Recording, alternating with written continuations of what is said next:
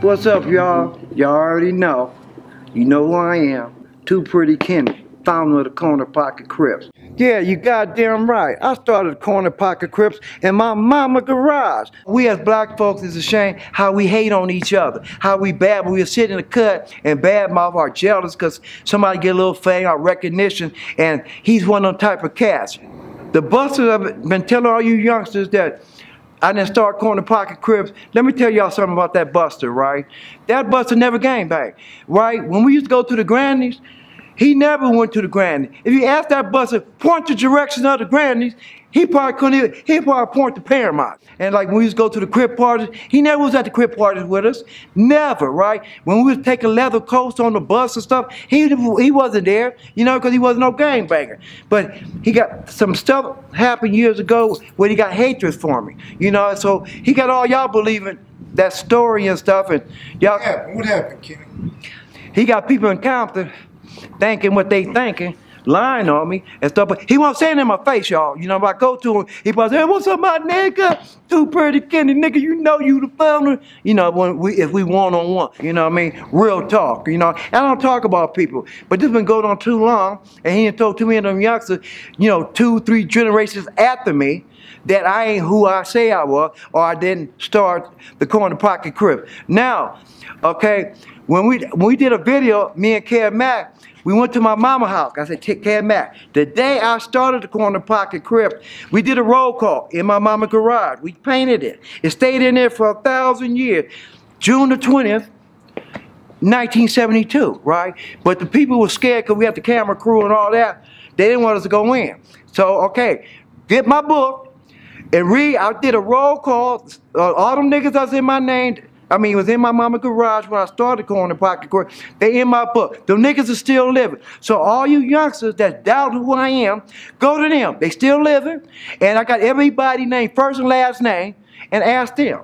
Because one thing about them niggas that was there, say, uh, OG, you don't have to prove nothing. None of little youngsters, you know, because that was our thing and we was cripping different than the generation, right? You know, so long as we know. And they was telling me, you don't have to prove nothing to nobody. Long they know the rhythm corner pocket crip. I didn't start pocket hood. Pocket hood came after the corner pocket crips.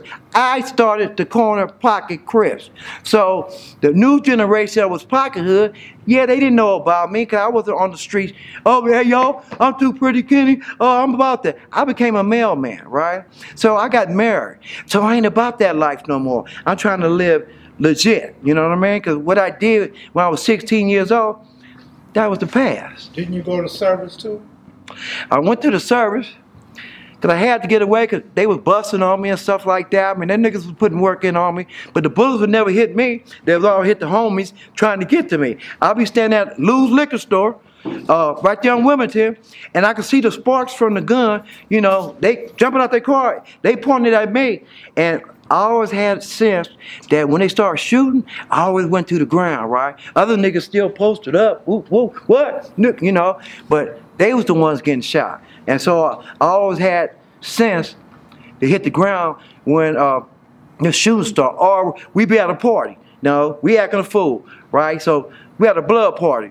So then, if I see one of them cats and we might not have a gun, and they pull out a gun, I say, man, cuz, oh, old boy got a gun. Let's get out of here. They're at the homies. y'all got niggas like this. Man, fuck these niggas. I ain't running. I'll crip or die. Woo, woo. Man, fuck this shit. Man, fuck that. You know, man, we don't got a gun. I knew, I kept my mouth shut. Mean, the homies was talking all that, they the one would get bust on. Cause they talking about they gonna crip or die. You know, you got to think of it. You gonna be a gangster, you got to think. When your time to perform and when your time not to perform, not to prove to your homies, oh, I crip or I die, I'm one of them down ass niggas, you know, kill me, motherfucker. Who? Nigga, check out.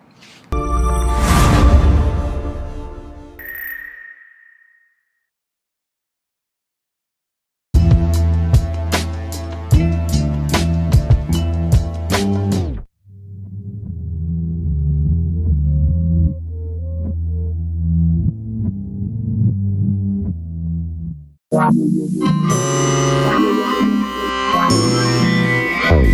reminiscing about the